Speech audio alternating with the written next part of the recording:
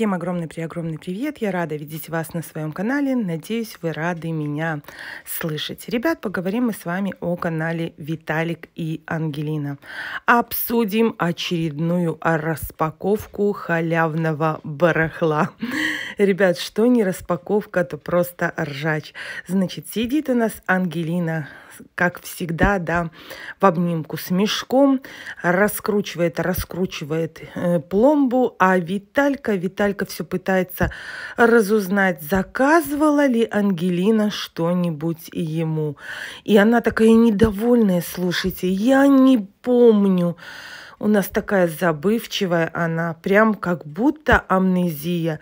То Василек заказывает бесконечно, то на другом каком-то сайте и заказывает и не помнит. Но главное то, что себе заказывает, стопроцентово все помнит. Но главное не забыть о себе любимой. А сейчас она еще больше деловая, да, потому что детей отправила, все внимание ей, и прям-таки звезда кардебалета.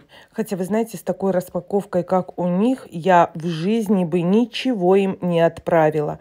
Все какое-то такое спонтанное, все швыряется, ничего толком не показывают, толком цены не говорят. Куда смотрят эти компании, которые отправляют им эти все шмотки для того, чтобы они рекламировали? Неужели нельзя найти других блогеров, крупных блогеров, которые могли бы красиво да, прорекламировать товар? Но здесь Ангелина Пади уже услышала у обзорщиков и поэтому решила хотя бы в стопочку, да, более-менее поскладывать вещи, которые достала из мешка. И, ребят, к моему удивлению, даже Витальке перепало несколько костюмов, пижамка и даже халат, банный халат. Виталька тут же захотел пойти и помыться.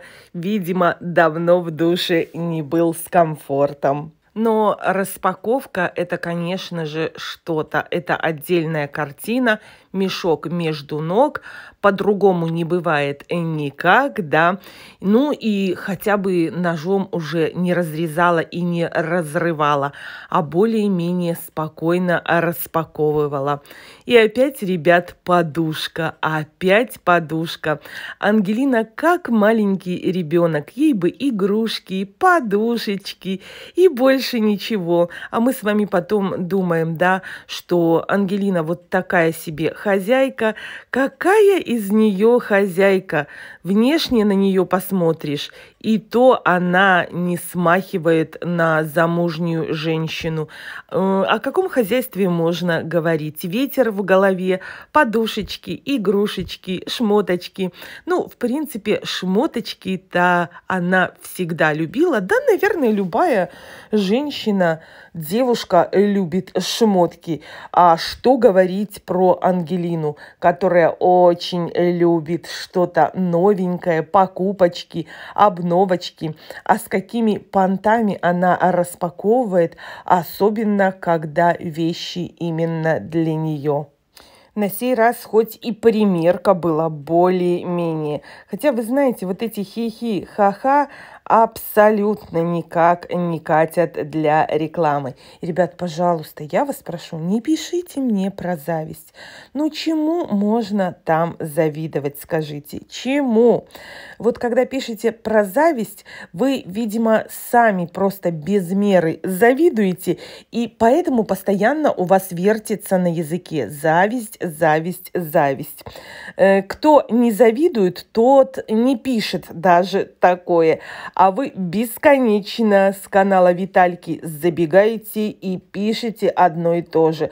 Прошу вас, уж если хотите что-то написать, смените просто-напросто пластинку. Ну, а дальше по нарядам. Ну, я бы сказала, что более-менее стали шмотки сидеть на Ангелине. Ну, по той причине, что она действительно похудела, внешне она действительно похорошела.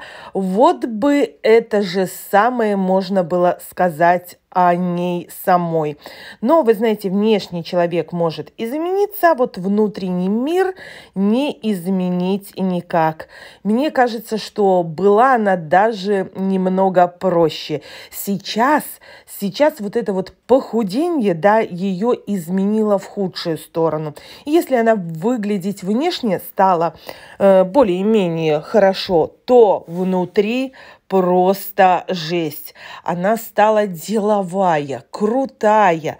Видимо, все, чайки, вы увидели, я похудела.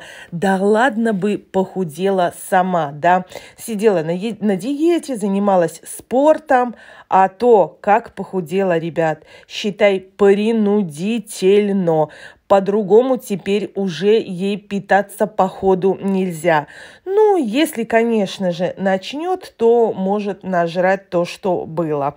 А так, вы знаете, будь это ее заслуга, да, в том, что она сейчас такая стройняшка, да, то можно было бы, конечно, восхищаться. А так, ребят, а так, ну, такое себе. Да, внешне похорошело, а вот изнутри, чем дальше, тем все хуже и хуже. Деловая, заносчивая, ленивая. Э, слово не скажи. Везде голову вверх поднимает и типа отстаньте от меня, я здесь королева. Пошутить уже последнее время Виталька не может с Ангелиной, потому что и везде она сразу включает свою деловитость. И не знаю, как он все это терпит. Но я вам скажу, не будь ее, канал бы у него не, сто... не устоял и провалился бы давным-давно. Потому что помните, как был момент, когда они там м- поскандалили, разбежались, и просмотров толком не было никаких, и интереса у зрителей тоже не было. Именно, по-моему, сама Ангелина какую-то изюминку каналу дает, да. Наверное, вот это вот вся ее лень, да, и невоспитанность, что хозяйка никудышняя, двух слов связать не может, да, вот это вот ее бесконечная жрачка, да, где она ела и каждому в тарелку смотрела. Именно это и было изюминкой канала, и поэтому люди шли, смотрели, и как, э, я бы сказала, как в цирк, понимаете, посмотреть на очередную трэш-серию. Ну, лично я раньше, да, когда не делала еще обзор, периодически за, заходила к ним на канал, вот чисто посмотреть, чисто посмеяться, что там изменилось. И я вам скажу, серии в Биробиджане, еще в старой съемной квартире, гораздо прикольнее были, нежели сейчас. Ну, как и говорят, что деньги портят, да. Э, хоть без денег никуда, но избыток их действительно портит. И поэтому все становятся э, с коронами на голове, деловые, заносчивые. Так и здесь, ребят так и здесь. Когда бабосиков было мало, были такие спокойные, простые. Сейчас прям возомнили себя королями Ютуба. И не одни они так, ребят, не одни. Взять Уралочку, взять пиратов, хоть у пиратов и подписоты по сравнению с этими совсем маловато, но возомнили тоже, что они такие нужные людям, что люди их ждут, что люди их ищут. Ну, что тут скажешь? Вообще, знаете, человек человеку рознь. Порой смотришь блогера и смотришь, канал растет, и подписчиков много, и доход, но блогер от этого не меняется. Ну, а здесь у нас, видите, как деньги, деньги правят блогерами. И чем их больше, тем блогеры становятся наглее, да. И хоть двух слов связать не могут между собой, зато сидят на троне Ютуба, кто с протянутой рукой, кто с поднятой рюмкой, и все им должны. Все, просто все. А должны только из-за того, что те вышли в эфир развлекать народ. То бишь платите, да. Так и здесь у Витальки, да, поразвлекал на, на алкостримах людей, а вы бабосики шлите, пообзывал, поматерился, и тоже для него это выгодно. Именно в таком виде получает он еще больше донатов. Для меня вообще такого рода каналы – это шлак Ютуба. Но это мое личное мнение, никому его не навязываю, каждый имеет право на свое мнение. И в этом нет ничего плохого. Все мы разные, воспринимаем все по-разному. Ребят, напишите, что думаете вы по этому поводу. Оставляйте свои комментарии. И я также благодарю каждого из вас за ваши классные комменты, приколы, юмор. И прежде чем попрощаться, желаю каждому из вас прекрасного настроения, позитивных эмоций, мирного неба над головой, любви, добра, понимания и, конечно же, здоровья. Берегите себя, берегите своих близких. Обнимаю вас всех. Пока-пока.